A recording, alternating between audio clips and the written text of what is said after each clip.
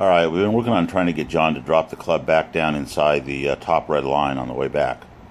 See, he goes back on the golf swing, a pretty classic takeaway. Gets up to the top. So what he's doing now is taking the club too far to the inside on the way back, so he gets too high at the top. But he's on plane right there. Now, what we've got to get him to do is from here, bring the right elbow back inside in front of his rib cage, so he can drop the club head back inside in between the two red lines. So we got to drop the club head down inside this way. And he does in a case over the top of the top red line, which is a way out to in swing, produces that cut that he has so often.